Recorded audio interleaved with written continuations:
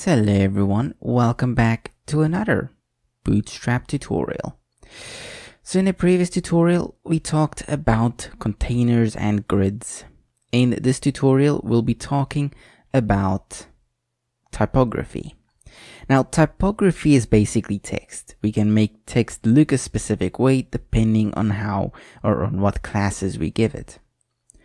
For example, let's maybe remove all of this. And let's create a p tag that says hello world. We can create an h1 tag that says the same. There we go. So now I have a p tag that says hello world and an h1 that says hello world. Now, when we use Bootstrap, usually we don't really say h1, h2, h3, or we do, but we only say it for a specific header. For other things that should be the same size but should not be the same priority as in h1 or an h2 or an h3 or whatnot, for those that just need that size and same properties, we can use a p tag. The idea behind it is that we don't overuse h1 tags and h2 tags, we only use them where they are needed. Otherwise, we can use styling for them instead. So let's go here to our p tag and say class h1. Now, both of these look exactly the same. However, this one is a p tag, meaning to the computer's eye, it will look like a piece of text, just a paragraph. Whilst to our eyes, it would look like a header. So we already have a main header for the web page, but we want another header of the same size, but it's not a header header. Then we can use this. And of course you have your H2 and your H3 all the way down to H6. And that's just for the header. Now, sometimes you need something that stands out more than a normal heading. Like this H1, it doesn't really stand out that much. Compared to normal P tags, it does, but in general, not really. But something else you could use to make it stand out more is giving a P tag or an H1 tag or whatever you would like to give this um, class to, the class of display and then the size where one is of course the largest and six would be the smallest. So now it's pretty big compared to a normal H1. And then just to give a size comparison, if we put a normal hello world here, so there we go. So this is the biggest size that basically Bootstrap gives you out of the box compared to the generally smallest. And this of course goes to H2, H3, H4 all the way down to H6. You also have a class for small text. So now text will look extra small, a little bit smaller than a normal p tag. It's basically a stand-in for the small tag. So you can rather use a class with small. So instead of having to use a small tag instead of a p tag, you can just use a span. Take this span, go here. Now you take this class and you move it to this span instead. And now this world will be a tiny bit smaller. Let's just go like H1 or something. Tiny bit smaller. And yeah, that's the benefit of instead of using an actual small tag, you can just use a class. A lot of times people will just throw out all types of elements and just use a class, but it's still good to use an element in some cases. But if you do want to and you just want the styling, you don't care about the element, then this is a great way to go. You also have for mark, so something to replace the mark tag, which basically highlights it. It's very difficult to see, but it's a very light yellowish color.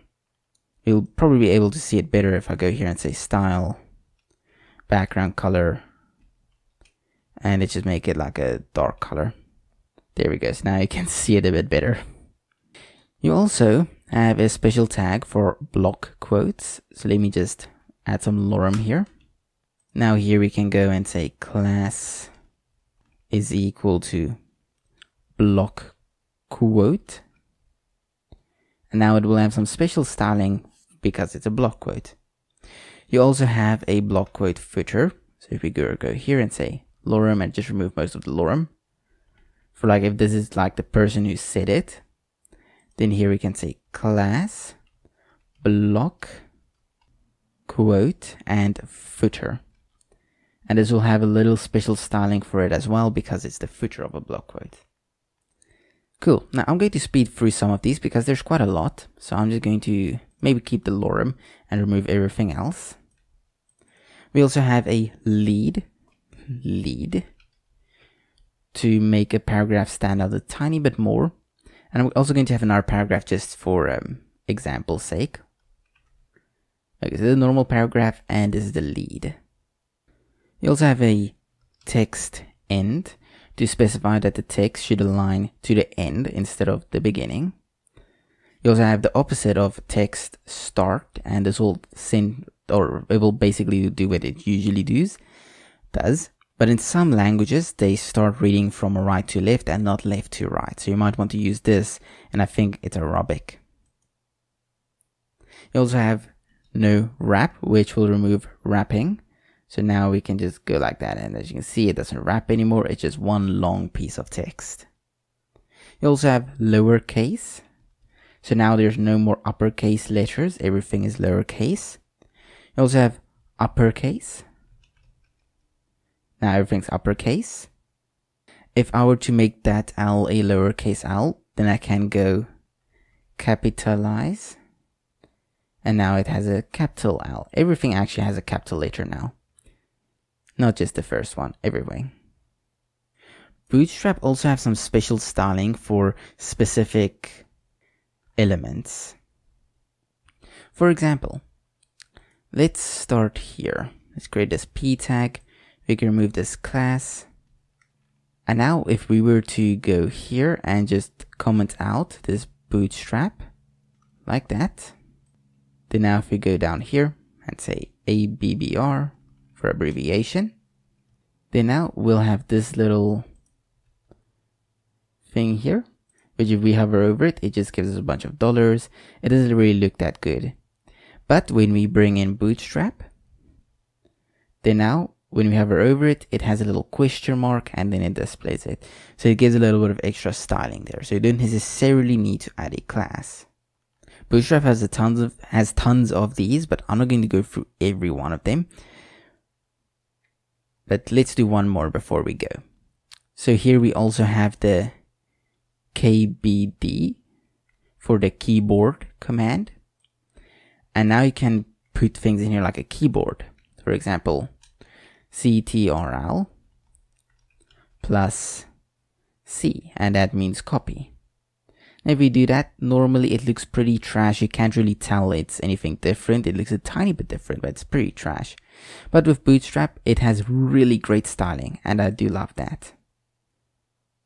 Bootstrap has tons of these already built in.